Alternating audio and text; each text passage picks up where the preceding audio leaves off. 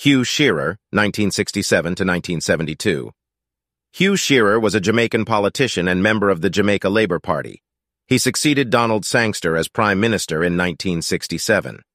Shearer focused on economic development and implemented policies to stimulate industrial growth and improve agricultural productivity during his tenure.